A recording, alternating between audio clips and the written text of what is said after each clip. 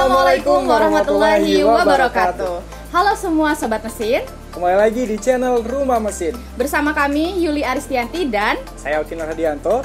Dan kali ini Ya. kita bakalan nge-unboxing salah satu produk dari Rumah Mesin, yakni mesin potato, Potato Slicer. Nah, ini ada apa aja nih kak? Sebelum kita lihat Oke. isi dalamnya, kita unboxing terlebih dahulu nih.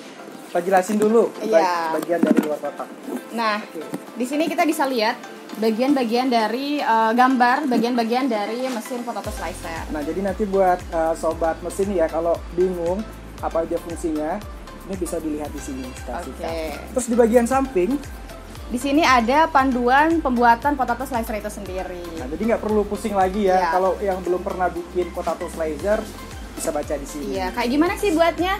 Lihat aja di sini sudah ada panduannya. Yes, betul banget. Langsung gitu kalau gitu langsung aja kak. Oke. Ya, kita lihat isi dalam Dari mesin potato slicer. yang pertama. Yang pertama ini ada kartu garansi. Jadi buat sobat mesin yang ada di rumah jangan khawatir karena eh, bila ada kerusakan sudah ada kartu garansinya. Ya, berlaku Oke. berapa lama ini? Bertahan selama satu tahun. Oke. Terus isi dalamnya ada. Oke, dan ini Nah. ya masterpiece kita. Yes. Ini merupakan mesin potato slicer yang terbuat dari bahan stainless jadi anti karat. Oke, Jadi luar ya. biasa. Terus ada apa lagi nih kak? Nah, di sini ada eh, mata pisaunya, ya. Oke, bisa dilihat juga dari sininya. Jadi nanti ini buat eh, memotong eh, potato slicernya itu. Oke, kita langsung ke bagian samping. Oke. Di sini ada kayak gagang. Ya, ini berfungsi kalau kita tekan, kalau kita tarik Yap. ke atas, maaf ya, dia Ya. bakalan gampang Oke. ditarik gitu, buat masukin kentangnya. Ya, oke. Nice. Nah, selanjutnya ada apa lagi nih kak? Selanjutnya ini yang udah kosong. Kak. Oke, Yang terakhir ini ada pisau cadangan. oke. Pisau cadangan ini nanti kalau di sini ada kerusakan ini bisa diganti Ya, dengan pisau tumpul. cadangannya aja. Ya, Ya. Terus di sini juga ada pegangan terdiri dari dua baut yang fungsinya oke, untuk dipasangkan pada tuas di sini. oke. Pasangkan seperti ini, Kak. Di sini juga ada bautnya ya kak buat eh, biar dianya kuat di sininya. Yes, benar. Nah, pastikan nih sobat mesin kalau eh, mau bikin potato slicer ini dipasang dengan seke sekuat ya. Yap. Kuat apa kenceng?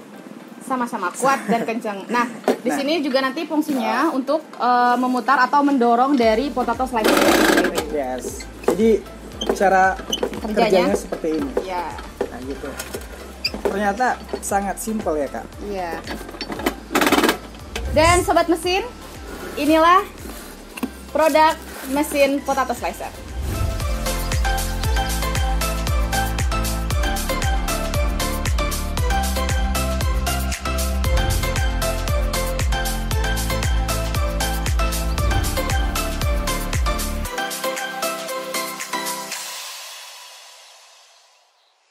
Oke sobat mesin semuanya, kalau tadi kita sudah melihat detail dari mesin potato slicer, selanjutnya kita ada Nah, apa nih kak? Selanjutnya kita akan menjelaskan bagaimana cara membuat kentang spiral menggunakan mesin potato. slicer. Oke, di sebelah kiri kita sudah ada bahan-bahan yang Oke. digunakan.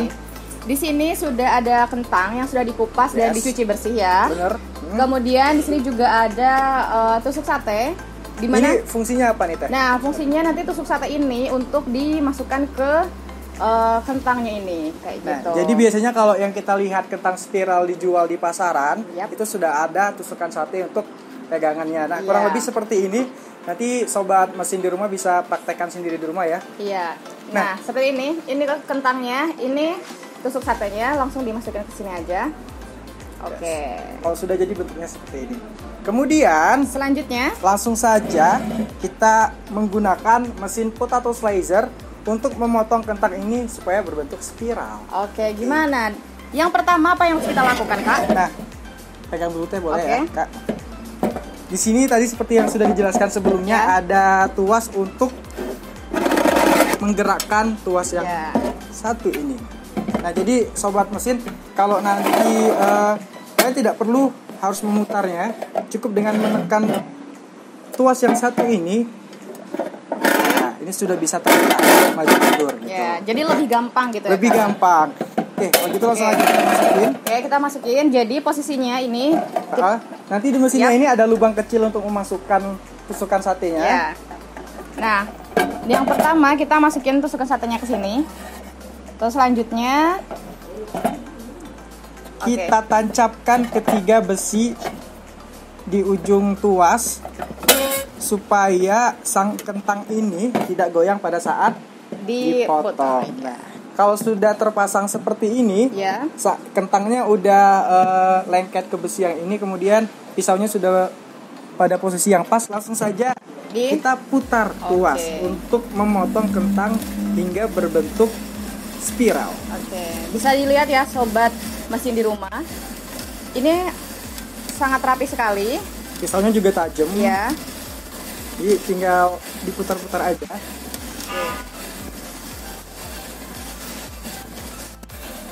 Ini agak cepet ya. Iya. Oke. Oke. Nah, bisa kita lihat. Nah, Nah, Ini bentuk kentang spiral Sepilar- ya. yang biasa ada di pasar malam ini ya. Iya bener banget. Oke, bisa kita lihat. Ini tinggal ditarik aja. Oke. Wow, ini Nah, ini benar-benar gak putus ya? Bener nggak putus dan Oke. ketebalannya tuh sama jadinya. Oke. Nah, Nah, kalau udah seperti ini, sobat mesin, ini tinggal langsung digoreng aja. goreng kemudian dikasih eh, Bumbu-bumbu. iya Ya. rasa-rasa biar lebih Iya, enak. sesuai dengan keinginan sobat mesin di rumah. Nah, itu dia video review mesin potato slicer. Dan buat sobat mesin nih yang pengen bikin kentang spiral menggunakan mesin potato slicer, bisa mendapatkan di www.rumahmesin.com. Terima kasih, sampai jumpa di video selanjutnya. Jangan lupa like, comment, dan subscribe.